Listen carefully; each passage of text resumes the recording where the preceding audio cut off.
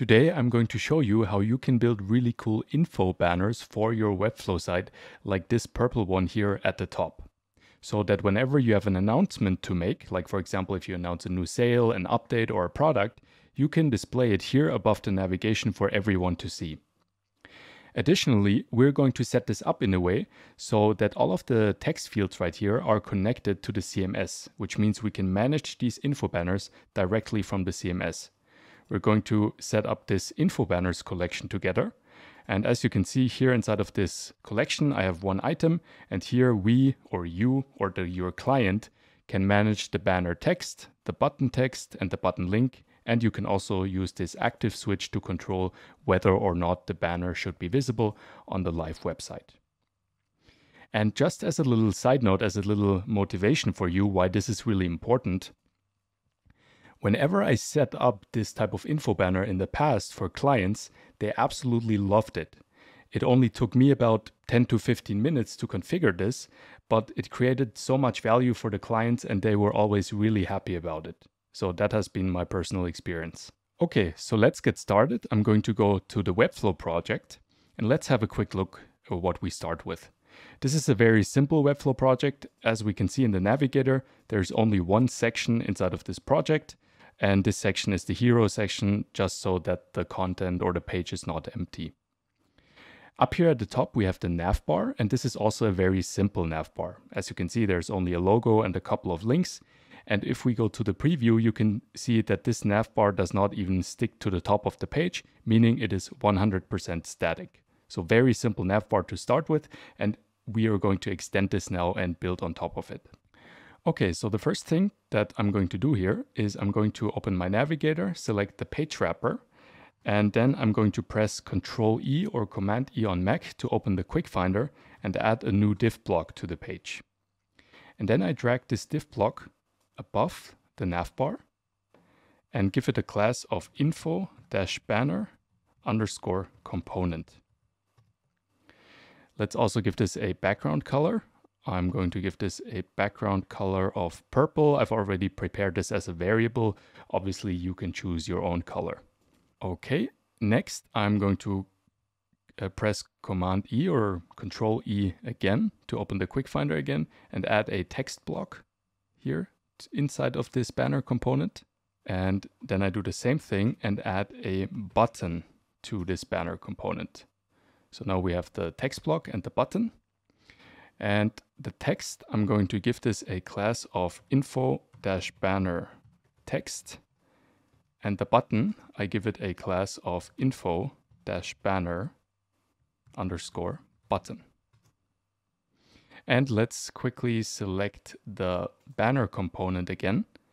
And I change the typography to have a color of white so that our text is white. Next, I click on the layout section and turn this entire info banner component into a flex component or into a flex wrapper. And then inside of this 3x3 align grid, I click into the middle so that all of the elements inside of this flex container are aligned in the center, both on the X and on the Y axis. Let's also give this a gap of one rem so that we have a little bit of space here between the text and the button. And I'm also going to add a top and bottom padding so that the button does not touch the top and bottom edge of the banner. For the padding, I think I'm going to choose 0.3 rem. Yes, so let's go with 0.4. I think that looks really good. And now the next thing I'm going to do is to style the button. I click on the button and for the button, I'm going to make this button white. So I select the background and turn the background white. And for the typography, I want the font color of this button to be purple again. So I select my purple variable here. But in your case, you can, in your case, you can also choose a predefined custom color. And while we are already configuring the typography, I'm going to switch the font weight from 400 to 600 so that the button text is a little more prominent. Let's also change the spacing because I think right now the button is a little too large. So I set a top and bottom padding of 0.25 rem. and a left and right padding of 0.75 rem. Perfect. And now I click on borders and give this a border of 0.3 rem. So that the edges or yeah, so that the corners of the button are round. Okay, I think this already looks really good, but now we have to make it responsive so that it looks good on all screen sizes. Let's check it on the tablet view. I think there it looks good, so we don't need to change anything here. Uh, mobile landscape, I think this also looks good. But if we go to mobile portrait, you can see everything looks a little bit squished together. So what I'm going to do is I'm going to click on the info banner component and then go to the layout and then change the flex direction from the default, which is horizontal, to vertical. And this basically just means that all of the elements will be aligned below each other. And then I change the align option to align left so that everything is aligned to the left, which looks a lot better on mobile. Also on mobile, the gap does not have to be this big, so I change it to 0.5 rem. And while we're at it, I'm also going to add a little more top and bottom spacing, let's say 0.8 rem, and I think that looks a lot better. And now the only thing that I don't like about this is, as you can see, the elements are aligned to the very left of the screen. But we don't want them at the very left of the screen. We only want them to the left of the screen with a little bit of space uh, to, the, to the edge of the screen, like we have with all of our other elements here. And the way I'm going to do this, I have a utility class called padding global, which will add a global padding to my section on the left and the right side. Um, if you don't have this utility class, you can also select the info banner component and give it a left and right padding. And then this will be pushed away from the side as well. For example, you could set, set this to 0.25 rem and then it will be pushed to the side. Uh, but in my case, I'm going to just add this padding global utility class here, padding global and then this left and right padding is automatically applied across all uh, breakpoints. Okay, so now that is all we have to do for the design. I think this looks really good. Next, I'm going to go to the CMS and create a new CMS collection because remember we want to control all of the content here through the CMS. I click on this icon to create a new CMS collection and I give it the name of info banners. Um, we have the basic info of name and slug. We can change that, so we just leave it as is. And I'm going to add a custom field of plain text and give it a name of banner text. And let's set the maximum characters to 80 so that people cannot paste too much content inside of here. I save the field, add another field. This is going to be the button text of our banner. So I give it a name of button text, save the field. And then we also need the button link. So I choose link for the field type and give it a name of button link. Save field. And now the last thing that we have to add is the switch so that we can control which banners should be displayed on the live site. And the switch, I'm going to give this a name of active. Save the field. And then I click on create collection here at the top. So now we have this collection and I can immediately click on this new info banner button to create the first info banner item. For the name, I'm going to choose test banner. For the banner text, I'm going to just put in, put in some placeholder text. For the button text, let's say sign up now. Sign up now. And for the button link, I'm going to put um, HTTPS example.com. And let's also turn the switch on so that it is active. And then I click on create. Okay, now we have this banner and I can close the CMS and we can connect this CMS to the actual page.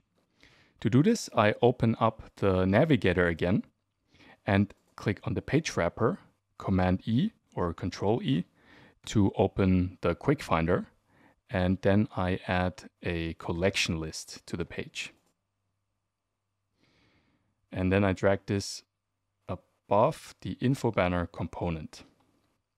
Then here you can see inside of the collection list, I have to double click it to connect it to an actual collection. In this case, we only have one CMS collection, the one which we just created called info banners. I choose this. Now it is collected and we can pull the content from the CMS. To do that, now I'm going to take our info banner component that we created and I'm going to drag it into the collection list item. So I drag it into this item right here.